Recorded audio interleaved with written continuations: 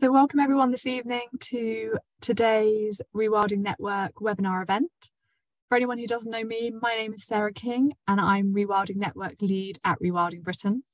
Uh, if anyone is interested in joining the network, um, we can share a link with you after this um, to provide some more information. But today we're going to be listening to two projects who are rewilding at smaller scales in Devon. So we welcome Kate Morley from Hill Crest, who's going to start off by talking about her project. Then we're going to bring in Laura Fairs, who's going to be talking about the Embercombe rewilding project. And finally, we're going to then talk about the landscape scale initiative of Devon Wildland and how the two projects are connecting up at the landscape scale. You'll see that this has been set up as a Zoom meeting, so there will be time at the end for questions. If you have any questions at the end, you can post them in the chat and we'll get through as many as we can. Um, if you can stay on mute during the presentations and also put your video off during the presentations, that will be fantastic. And then we'll come together at the end um, for any questions that you have for Kate and Laura. So without further ado, I will start sharing my screen and uh, we can start making a start. So with me while I just hand there we go. over to Kate. Great stuff. Well, thanks, Sarah, for having us. It's great to be here. And thank you for everybody else for taking up the time of their evening to come along. It's always good to see people, um, especially on a bit of a wild and windy night. Um, thanks also, Sarah, for um, engaging with the topic about uh, small scale, because that's been one of the things we've been talking about. I've probably been nagging you over the years about sort of concentrating a bit on the smaller scale, because often the the bigger scale um, projects get an awful lot of uh, focus, obviously, because it's very exciting what's happening there. But sometimes people can feel it's a little bit um, alien to them if they've got smaller smaller sites. So hopefully we'll share some insights tonight and um, maybe hopefully send some inspiration. But um, I guess probably um, if I just forward my slide a bit, hopefully that's going to work. Let's try it again. Try it now, Kate. There we go takes a bit of time. Um, so basically, we're we're um, based outside of Exeter. We're three miles outside of Exeter, and we're three miles from Dartmoor National Park boundary. So we don't sit within a national park, which is sometimes quite handy uh, because obviously the stuff you can do within the park is a, a bit more restricted. Um, what's a bit interesting about our site is that uh, it's been in my family for a long time, which I'll talk about in a second. But what I really, really love about rewilding um, is the fact that um, it's a complexity science. I'm a scientist by background, um, but uh, as I say, my family have been here for over 100 years. So I have a really strong connection to the land.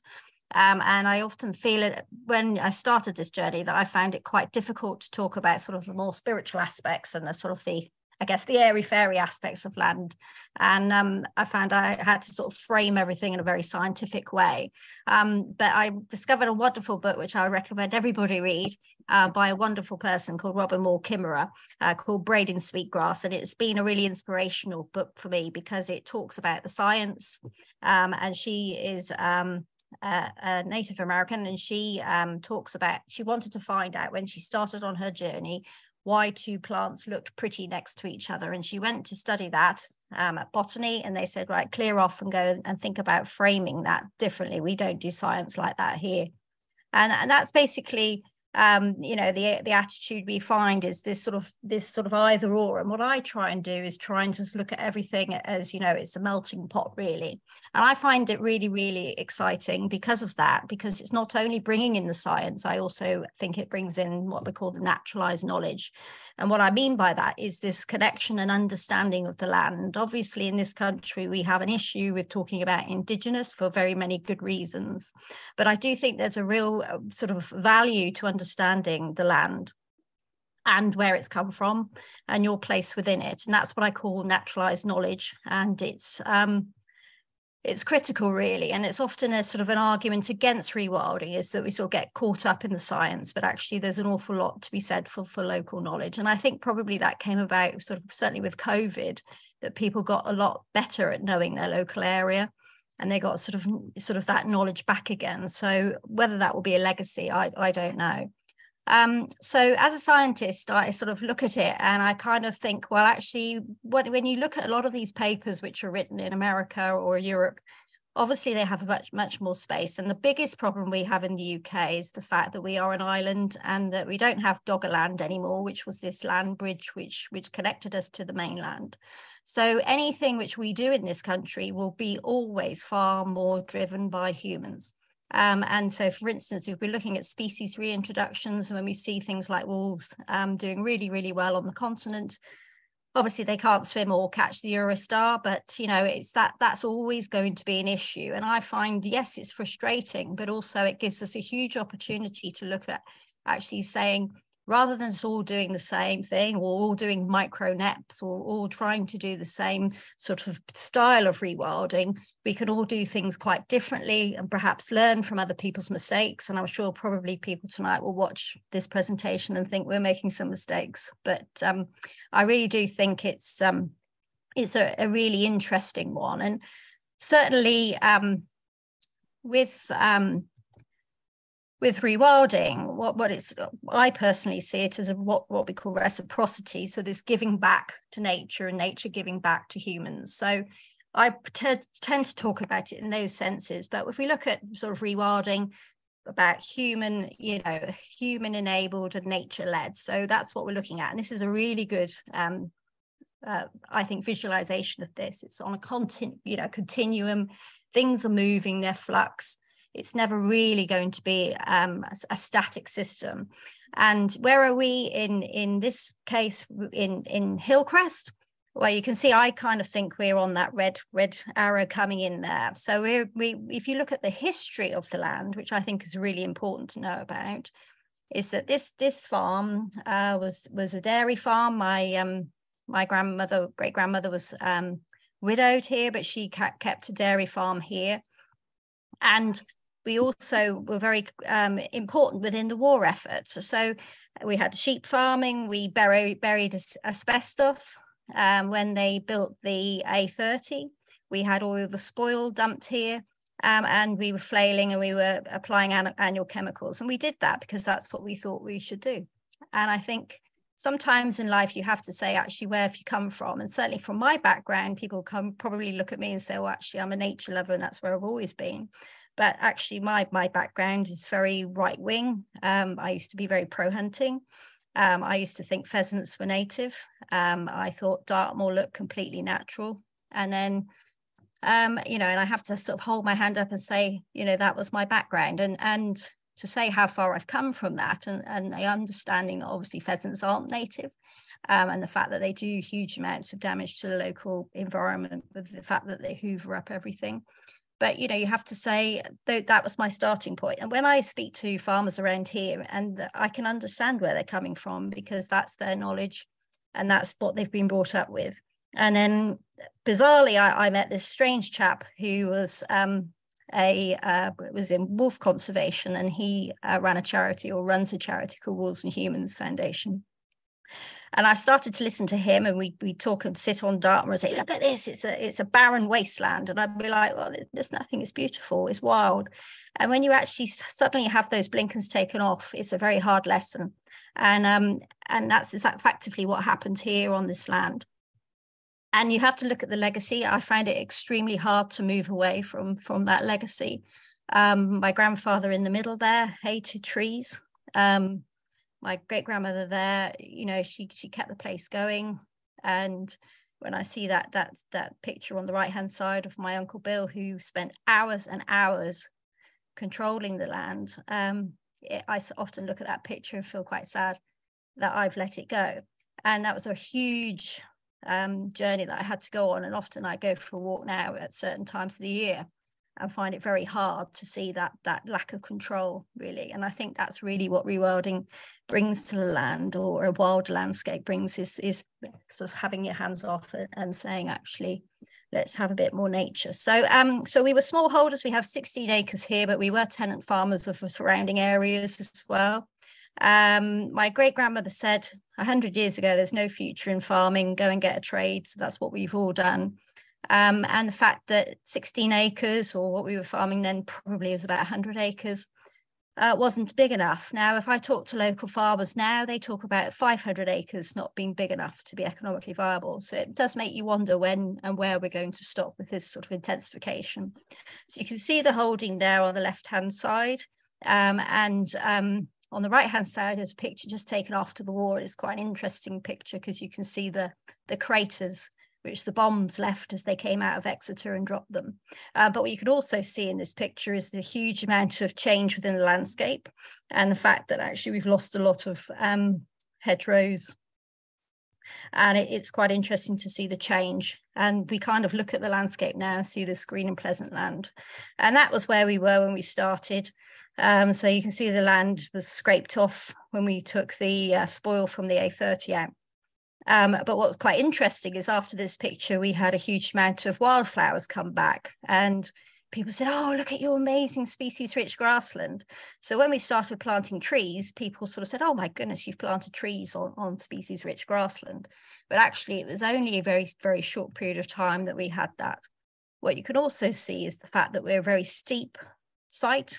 And I think it's also important to note that we had three fatalities within this parish um, from tractors rolling. So that was another decision which I decided I, I did my tractor ticket and I didn't feel confident that I could drive a tractor on this land. So it's constantly battling the um, typography. Um, and we kind of said, actually, let's make a change. And the biggest change happened when we had a huge landslip. And the landslip occurred. You can see there that the bottom, you can see a right hand, a right hand side on that picture. There's a conifer, and that slipped all the way down, and that's our neighbour's land slipped into ours. So we couldn't gain access to it. And this time, my grandfather, who was 97, was in a nursing home. And um, that meant we couldn't access the land and it started to scrub up. Now, the problem came when he died, two years after he died. We had, um, when he'd gone into the care home, he'd been assessed for care home fees and the single farm payment, RPA, was taken into the assessment for his care home. And we stupidly at the time didn't say, hang on a minute, that money's there for the land. They took the money. So they took it from the RPA, took it into the health department to, to the care home. Um, so we never saw the money. Then two years after he died, they did this aerial um, survey and said, actually, this is scrubbing up. We want thousands and thousands of pounds back.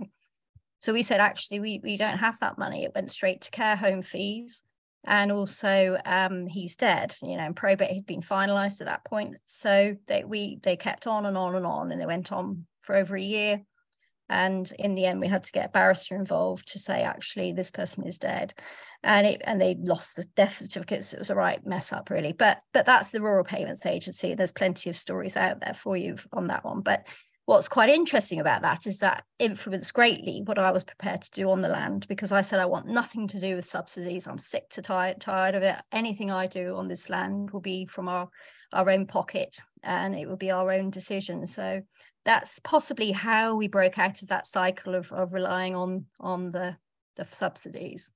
So in 2012, we started planting trees and you can see the picture on, on the side. Um, and um, so we planted trees. We went for a mixture of different sort of uh, native trees. Um, and you can see it's growing quite quickly. And um, and you can see another one there. And we put in the tree guards and we've taken the tree guards off now. And we we re, re reuse the tree guards. Um, and we take them off depending upon when species are actually at uh, mature enough. So we don't just leave tree guards on. That's one of my pet hates is walking around a wood and seeing discarded tree guards. We take them off and we've got a scheme going with Devon Contract Waste to uh, recycle them, which is really great. Um, but we're actually reusing some of those tree guards in our next door neighbours land, which we're just about to, to plant up. Uh, we've got a huge amount of natural regen on the site. Um, so we've got probably about 30% natural regen. And what you can see happening here is that the brambles are moving out as those oaks are growing up. The bramble moves and you see that it shades out the brambles as it moves. So, um, um, but what we also do as well is um, we have a huge amount of deer here. We have roe, which is sort of resident. We have fallow, which come across from Haldon. We have red deer occasionally coming through, and we've now just had muntjac come through. So that is why we made the decision to to a use tree guards and b do some planting. Um, we've also got the issue um, with when I talk about regen, um, I think it's really important, especially if you're a smaller site, to look at your boundaries because with your boundaries compared to the land space you've got is hugely influential. At the moment, we've got neighbours which um, have got beautiful Japanese garden, um, but they've got skunk cabbage in. Um, and they've got laurel in, which I had left that area, hadn't been down there. And as we saw at Regen, it, that's coming over. So we've been controlling that because obviously it's, it's great to look at natural regen and that's the preferable uh, way of doing it. But obviously you have to be always very mindful about what is regenerating behind really. Um, and also we have a lot of squirrels as well, which we, I'll be honest, we have been controlling the numbers of squirrels because supposedly they will only ring bark once they get to a, a certain um, certain number. So we do control squirrels. And when I say that, we we live trap them and then um, I check them every three hours um, and then we leave the, the squirrels. We use um, a lead-free shot. Um, so what, what's quite interesting, this picture is not meant to be a gruesome picture. It's quite an interesting picture because this is a squirrel turned completely inside out.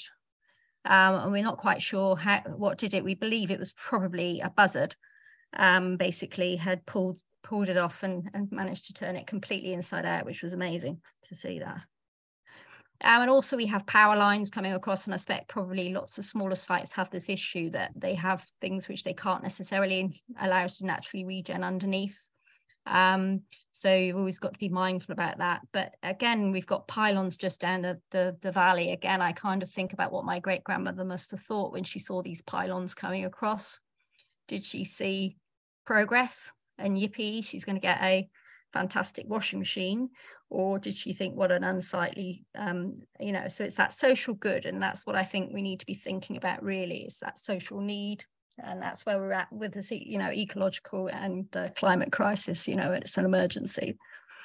Uh, so we have tracks right the way across the site and that's brilliant for me because I feel as though I'm still working on the land, which does have a, a, huge thing. It's edge habitat. You can see there we've got glowworms here, which is very exciting and it's also allows the animals to move through the landscape. Um, and it allows my six-year-old daughter to go for a walk because she won't go for a walk otherwise with sort of face full of brambles. Uh, it does actually keep the ticks down when you go for a walk, and it allows for accessibility, which is important for our site really. Um, so there are some challenges for smaller scales, and we've had a challenge in the fact that we've got dormice here. So obviously with rewilding um, principles, we would do very minimal management of that. And it's where the sort of trade-off really, because obviously we want to maintain dormice, um, but we had some really good advice here um, from a wonderful chap um, he goes by the name of Ravenquest. And what he was saying is looking at coppicing differently. So when you're looking at coppicing on, on a rewilding site, is you, you look at aerial walkways for, for dormice. Dormice don't like coming, I don't, you know, I've just learned all this, but basically they don't like coming down down onto the ground. So it's always important to try and leave aerial walkways across which we've done there. And also when we come to coppice this stool here, you you see the picture. The red line is probably where you would normally coppice.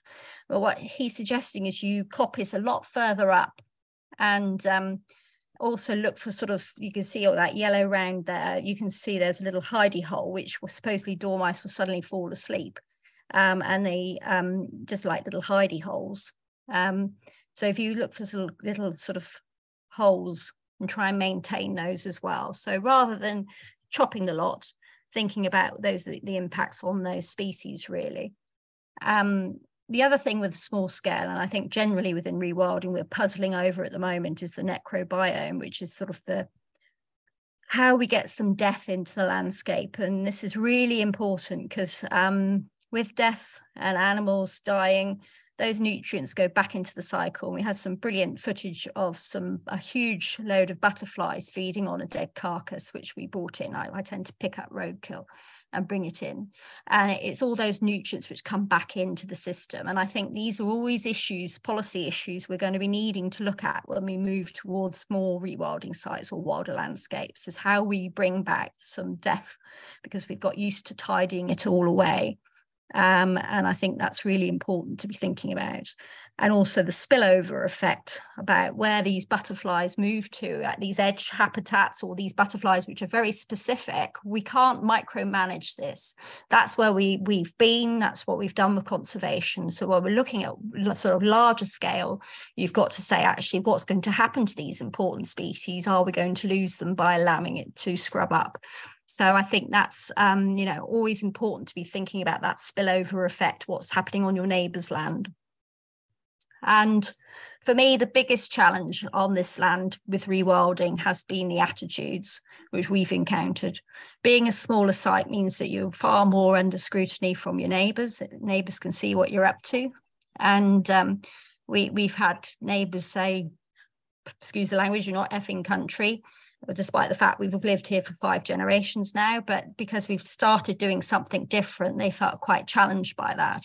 Um, we've had ecologists say, oh, no, you've planted on species rich grasslands. So, um, and it's this whole, yeah, but, yeah, but what about this? What about that? And for me, it's the bystander effect where people feel that somebody else is going to do it. And sometimes you have to make the decision to get off your hands and actually do it.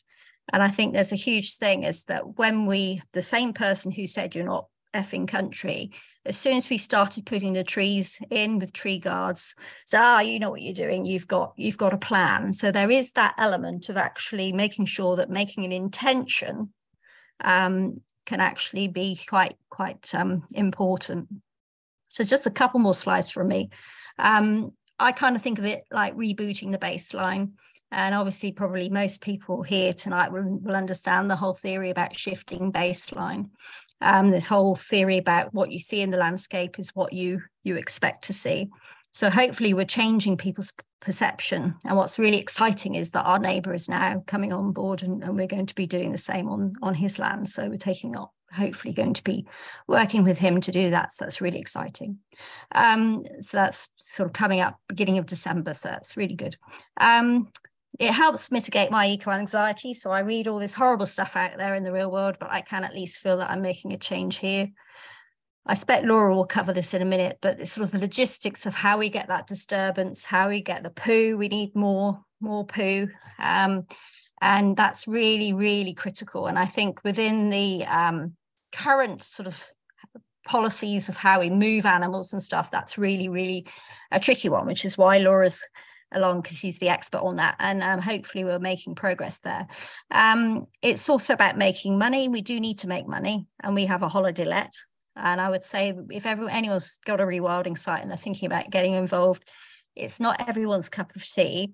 And also choose your agent wisely really. We chose a very mainstream agent because most of our guests go out off site and go and enjoy places like Dawlish Warren and things, which works well for us because frankly, we don't want too much human disturbance on the on the land.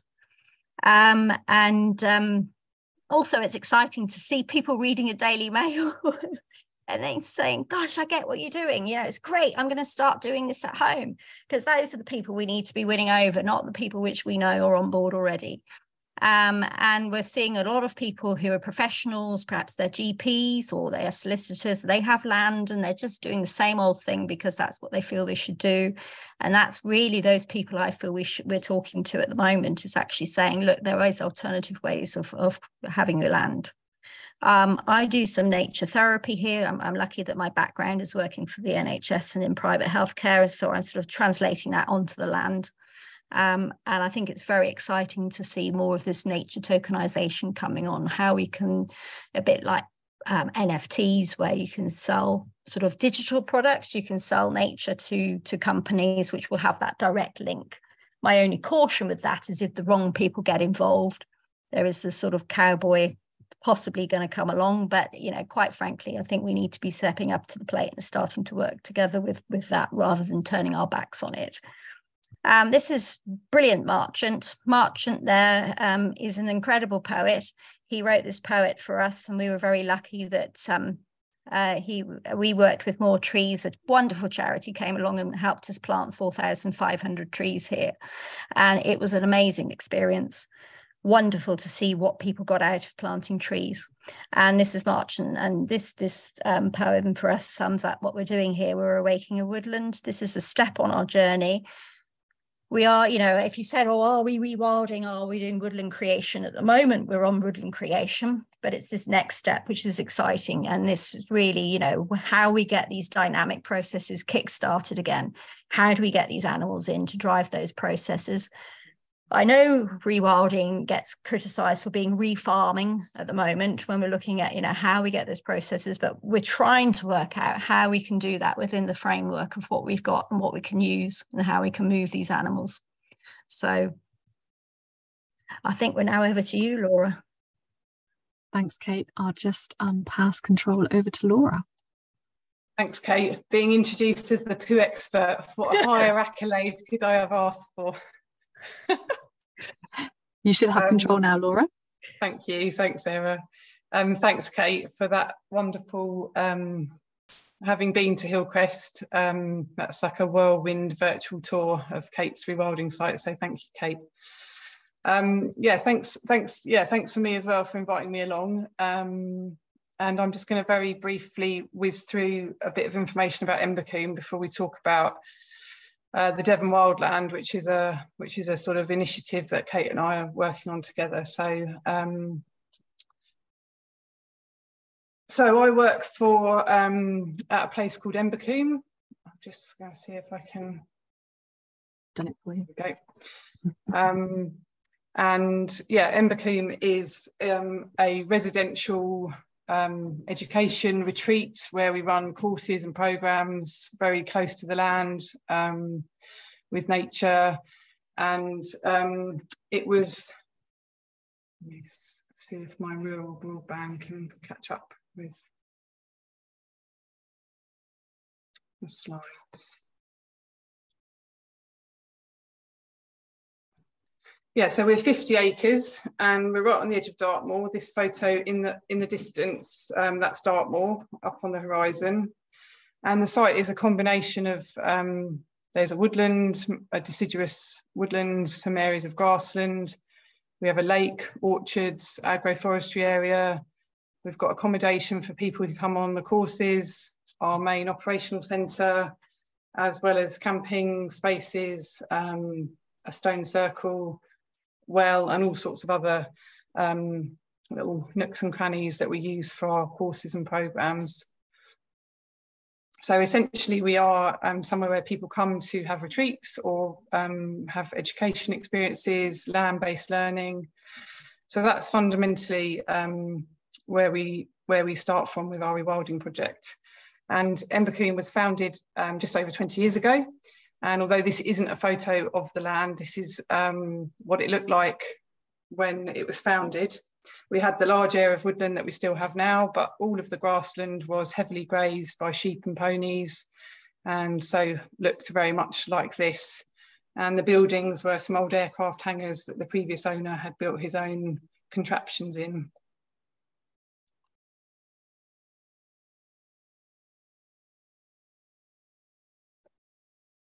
So this is a picture probably about 15 years ago, we think. Um, this is an aerial photograph in the old days when someone used to have to fly over in an aeroplane.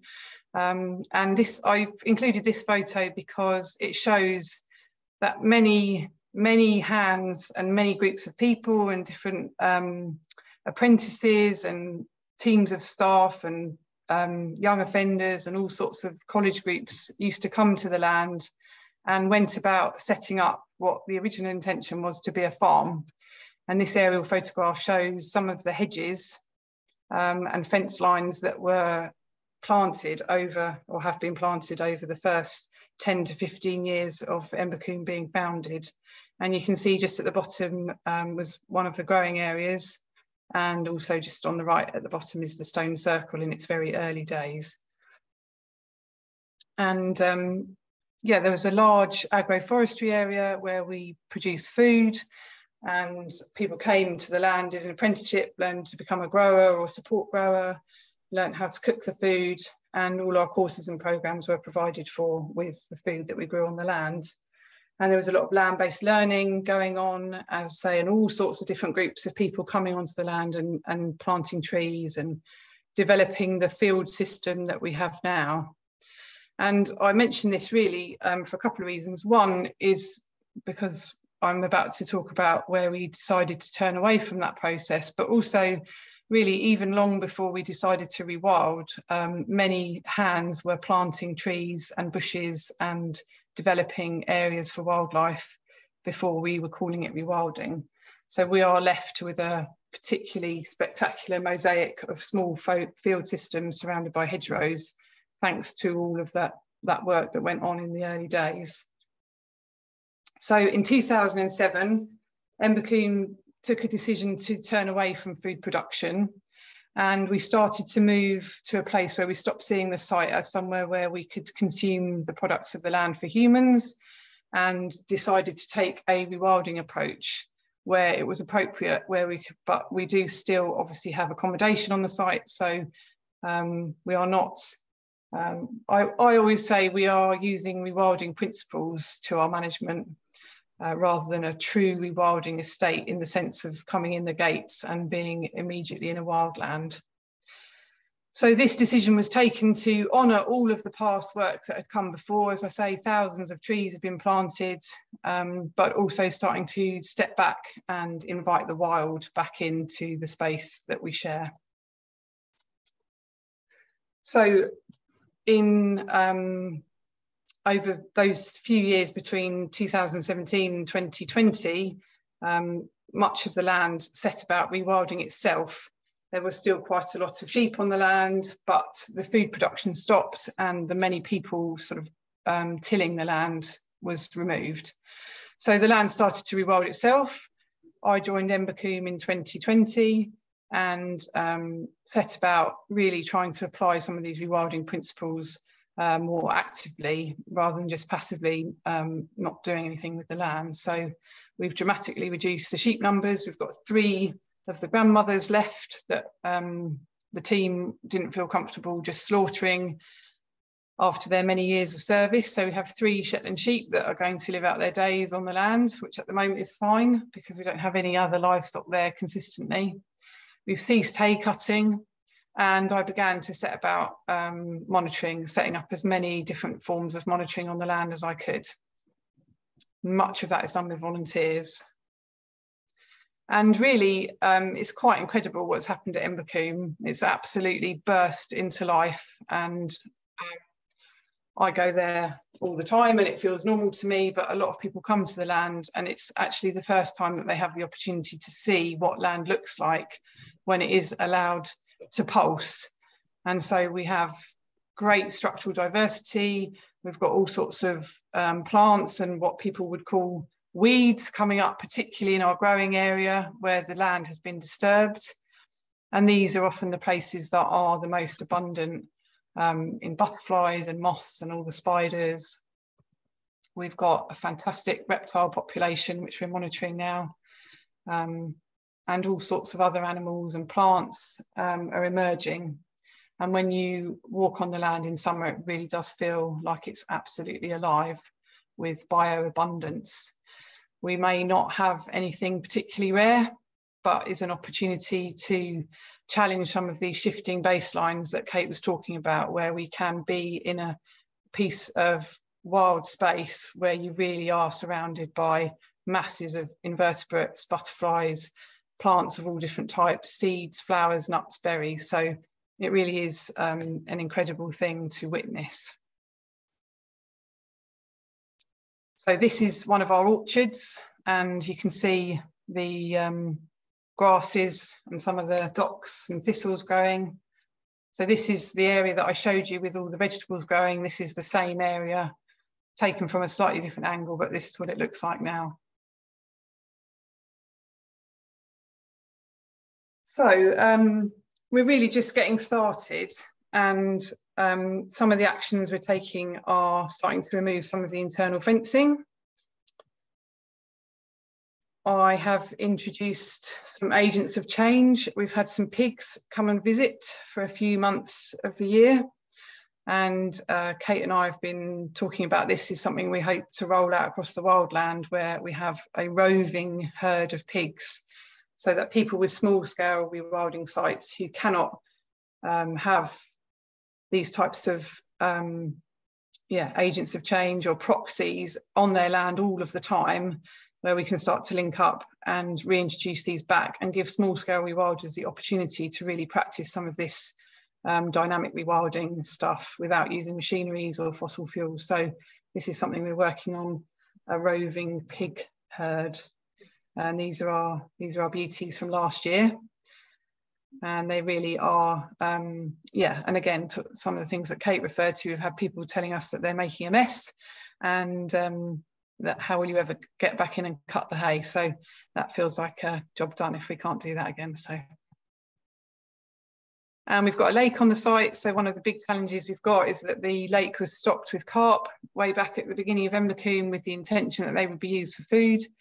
And we now have a beautiful lake and a fantastic population of amphibians and dragonflies, but um, some very hungry and really large carp in the lake. So um, one of the challenges is whether we can remove those carp and take them out of the lake, but also balancing that with some of the other work we do at Embercombe about animism and is it really fair to take those carp out of the lake? So we are also within our rewilding is really trying to bring some of these challenges around the decisions that you make in your own lives, the decisions that we make on our rewilding sites, and really inviting people into an exploration of some of these really complex issues, which on paper may be a case of, okay, we'll just get the carp out. Um, but in practice is both logistically, um, legally, um, practically difficult, but also bringing in some of the challenges around the spiritual part of this work, which is that um, how do we undo some of that work without harming the species that are living in the environment through no fault of their own. So one of the things that we've been, or I've been thinking about and starting to talk to people about is replicating um, not just using pigs as a proxy, but also perhaps replicating something which would happen in the wild, which is that the carp would be um, predated on, and much of their remains would be left on the land. So one of the things I'm exploring is whether we could actually we could act as the proxies and remove the carp from the lake, but then leave them out on the land to decay and return those nutrients back into a cycle on the land. So part of the necrobiome, but also really um, facing some of the challenges around how that makes us feel if we take those actions as well. Um, and yeah, the other final thing I just wanted to add is inviting people back onto the land um, and sharing the work that we're doing.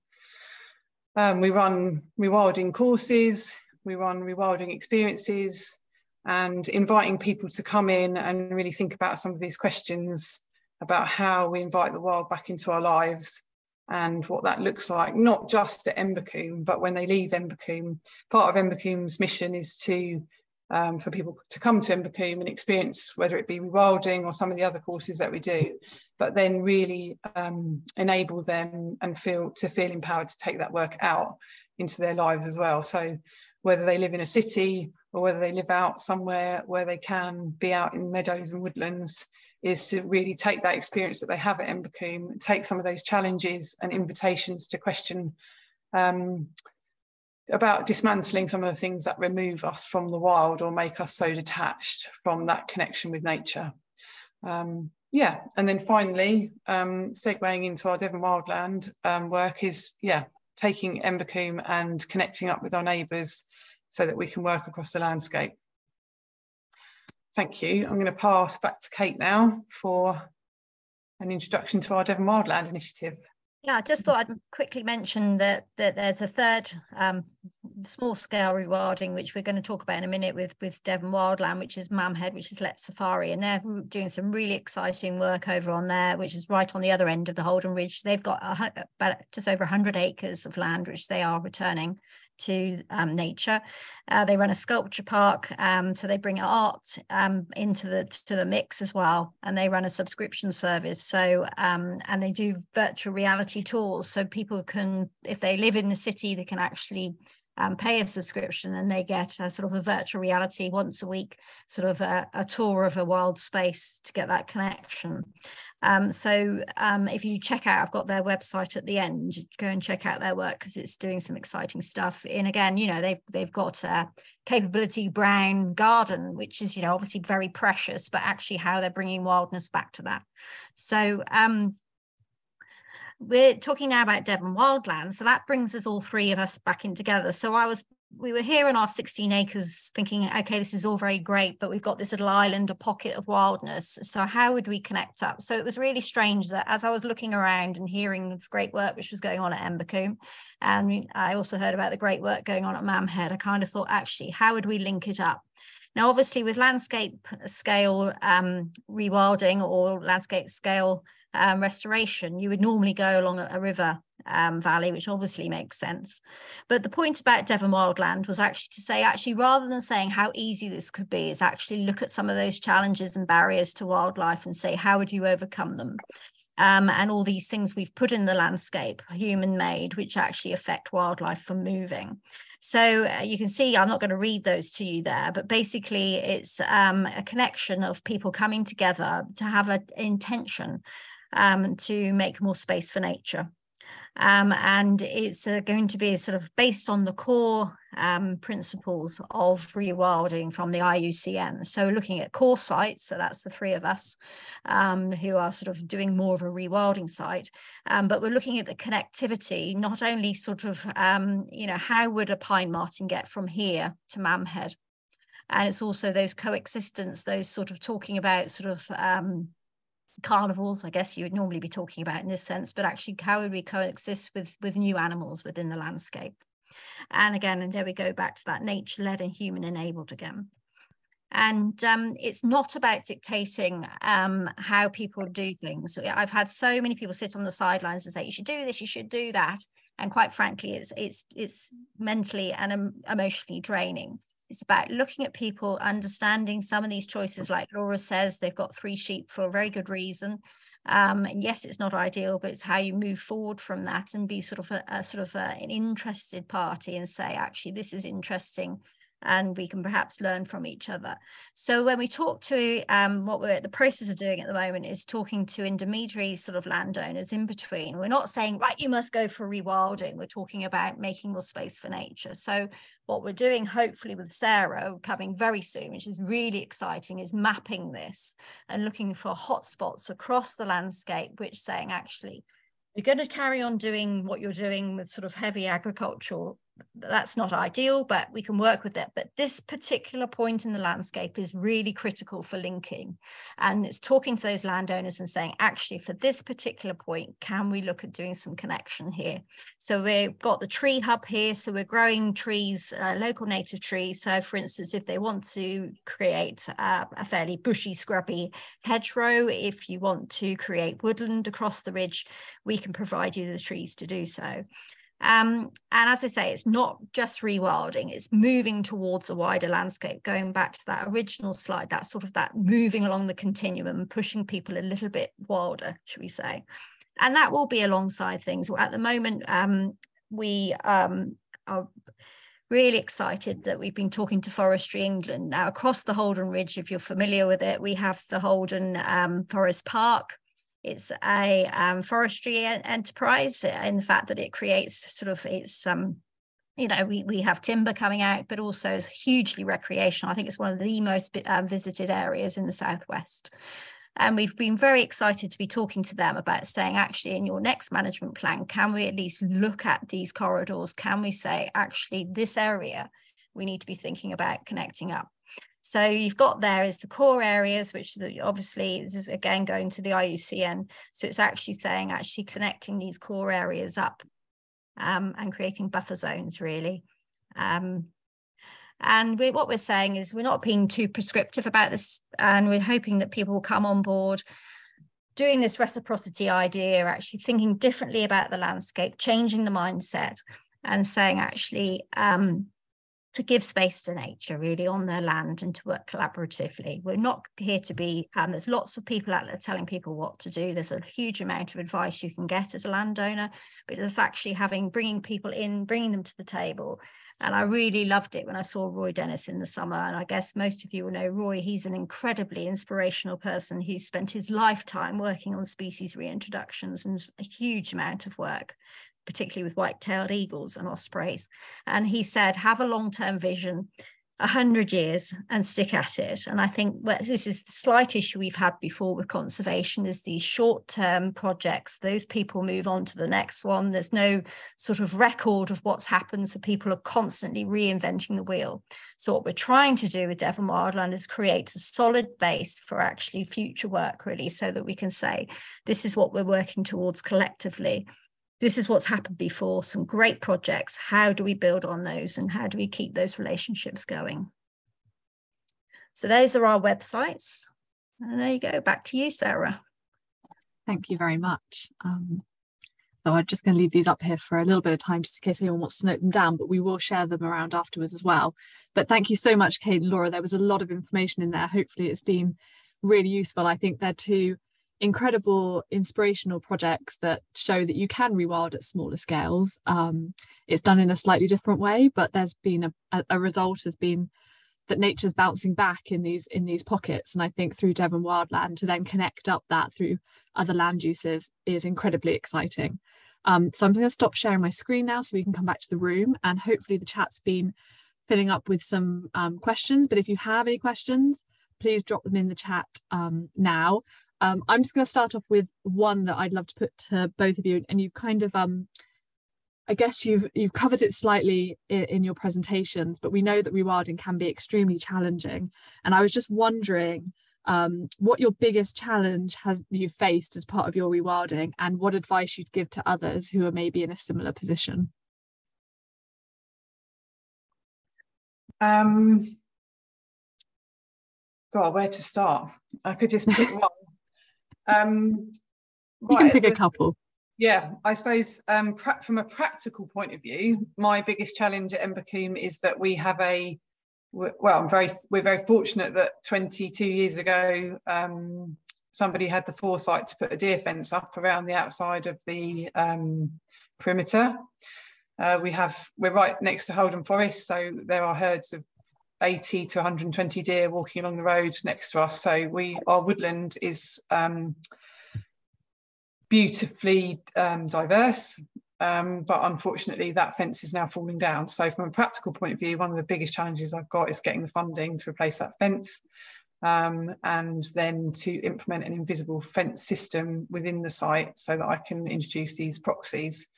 Um, and I need to do that because of the accommodation and the participants that come to the site. So we need to exclude the what we're calling our people zone, where um, the main offices are and the accommodation villages.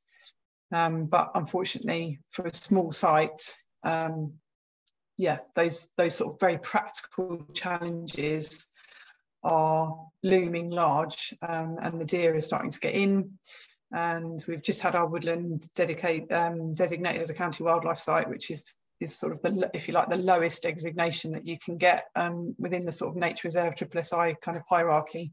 But it's still an acknowledgement that we do have a very special piece of woodland that has not been impacted by deer grazing. So that's a very sort of practical challenge. Um, and I would say more of a logistical or thought-based um, challenge is, yeah, this, this idea of sort of how do you rewild a small site with lots of people coming to visit where you need to think about health and safety and um, yes, how do you balance, how do you balance rewilding principles against traditional management and also sort of amenity areas? And how do you juggle all of those things in such a small space? And how do you make these arbitrary decisions about what you call rewilding and what you don't? So I, I would say and and my advice would be to people who've got those same challenges is um, try not to get too tied up in that conversation and just get on and do what feels right for you. If you've got a trackway and you want to lay the hedge along it, then don't worry that that's not technically rewilding because you would, in my experience, is part of the journey that you go along is actually discovering that laying hedges is rewilding because it's a traditional practice that connects you to the land. and shows you how things are regenerating and, re- and cycling through rebirth and um, yeah so actually when you start going down the road of all these questions you find that everything is rewilding because it's making you think about how you're going to increase biodiversity for that site so mm-hmm. try not to get too tied up on it and as long as you've got a reason for doing it then just get crack on and do it so kate Perfect. yeah i would just say um, have be determined because I think I would have so many times bottled it if I hadn't had Richard. He was absolutely determined what we were doing and have that sort of vision. You know, I would have just said, "No, I can't do this. It's looking too scruffy." So yeah, just stick at it. Great. Um, we've got a few questions, so I'll try and get through as many as I can today while we've got the time that we have left. Um, there's a question from Mark. He said he owns a 35 acre wood, uh, which is managed, which is managed but purely for biodiversity. It's a mixed woodland ranging from 20% western hemlock planted in the 70s to mixed broadleaf and open coppice areas. I want to increase the biodiversity, but not sure how to do this. Any advice would be welcome. So I guess any advice um, on how Mark can maybe get some some uh, more advice or help with increasing the biodiversity of his woodland. Yeah, I think, um, I mean, there's loads of stuff out there, isn't there, uh, about how to do that in a woodland. Um, my advice would be, Mark, depending on where you're based, is to, um, yeah, take a scattergun approach, look on the internet, but also see if you can talk to people nearby who are doing the similar sort of work as to what you're trying to achieve. Maybe get in touch with local NGOs or farm farm wild, wildlife advisory groups, whatever is near your patch, um, and see if there is someone often some of the NGOs have project-based staff who there might be funding available to come and give you some land advice or get in touch with a tree charity or the woodland trust or anything like anything like that. Just have a look around and see what's available. Um, but yeah and equally if there's someone nearby who's got a woodland don't be shy of going introducing yourself and just saying look i'd really love some advice. Would you like to come would you have the time to come and look at my wood generally most people like being nosy and if you've got a bit of private land and you invite someone in they'd quite like to have a look. So that's always a good place to start.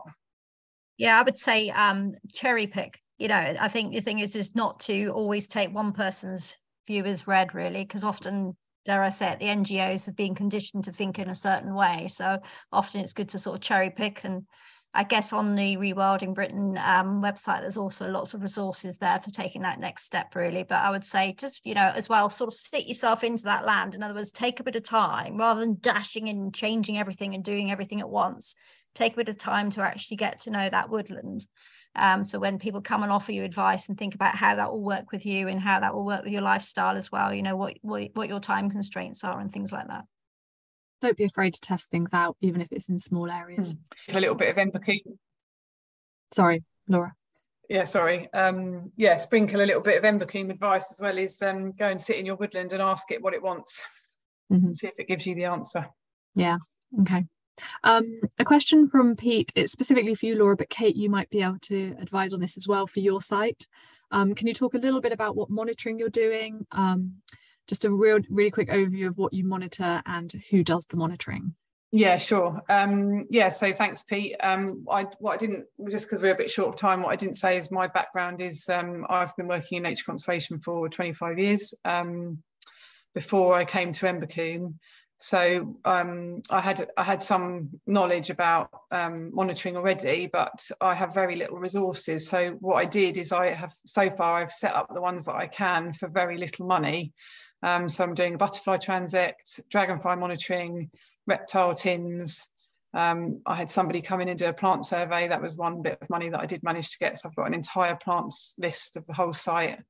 Um, we've gone out with bat detectors with very little knowledge and just really just looking for the for the common species. Um, we've done some pond dipping, just literally bringing children in and monitoring what's in there when we can. And I'm very lucky to have a very um, expert moth expert in our local patch who loves going out onto other people's land. So he's been doing monthly moth monitoring as well.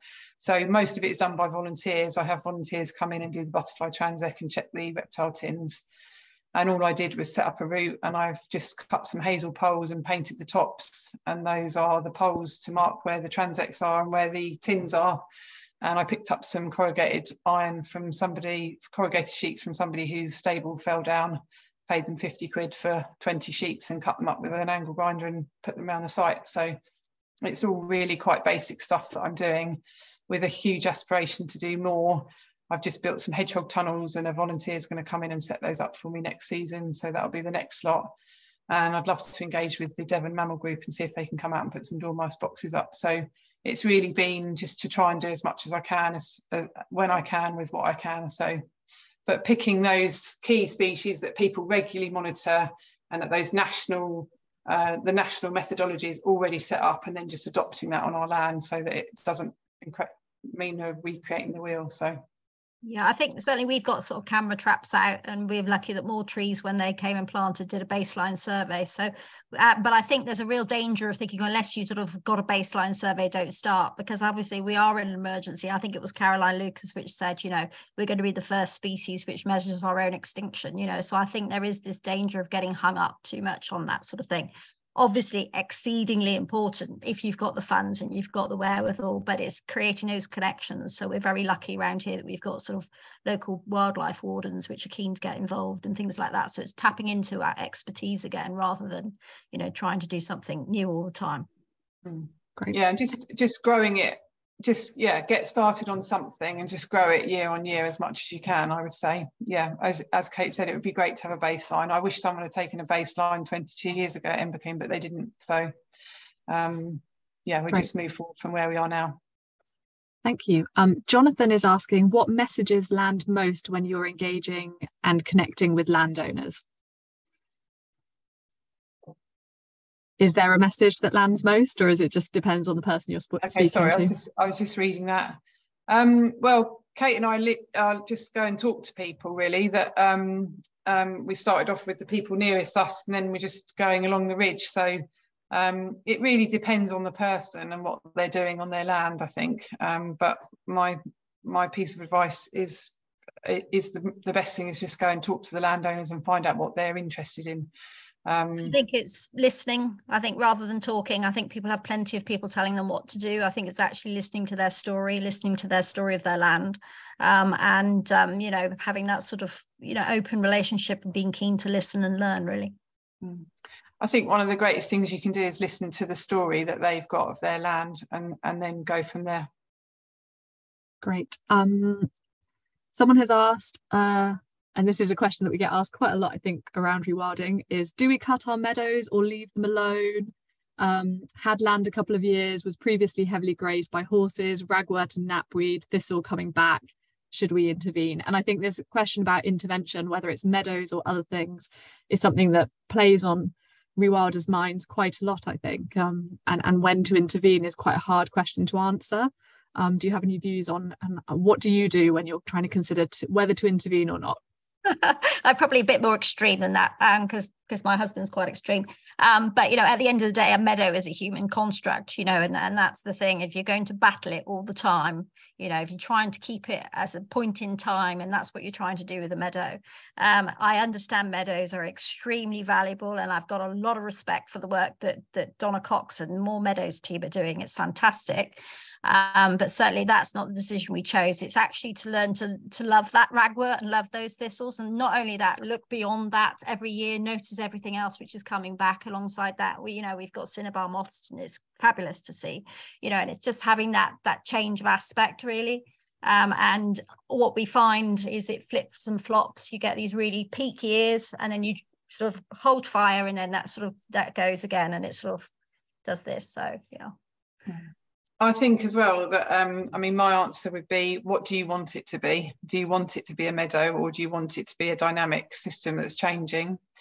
And um, but also I think looking at the history of that land and if it's been heavily grazed with animals and it's had a lot of impact and it's had a lot of take you know people have been taking off that land for a long time then the plants that you're seeing are showing you something. They are showing you something about the quality of that land. Maybe the soil's compacted, maybe it's, um, you know, maybe it's had um, slurry put on it, or maybe it's been cut by for hay regularly, or maybe it's had silage. And so again, a bit like the woodland is to just just wait and see what let that land show you what's going on. Um, and if you don't cut it for a few years, enjoy that pulse of vegetation and all of the abundance that comes with that. It doesn't need to be rare to be special. And um, and then you know if after a few years you decide that you do want it to be a meadow then you can take action then it, it, you're not going to lose it just over a couple of years so and the ragwort and the dock and the thistles are showing you really that the soil is compacted and that it's had a lot of impact so I think sometimes it's good to just think, okay, this this field or this meadow has had years and years and years of take, take, take, take, take, and I'm just going to let it be for a little bit, and that those plants will help to build the soil, build in some dyna dynamic processes, and just um, yeah, improve the soil health. So just um, be patient and, and let it show you what it wants to do, and then and then once you know how you feel about it, you can decide if you want it to be a meadow or whether you want it to scrub up or maybe a bit of both. Fantastic. Um, we've just about run out of time, so I'm just going to fit in one last really quick question. Um, Mike is has asked, is there a way to connect with you um, and possibly see if there's opportunities to share knowledge with you, um, maybe invite you to his farm in Cornwall. So um, are you happy for us to share contact details afterwards? Yeah, please yeah. do. Yeah, no, if you go to Devon Wildland or you know either one of our websites, there's contact details there. But yeah, it'd be great. Always, as as Laura says, it's always good to go and have a have a look around other people's land. It's exciting to see. Yeah.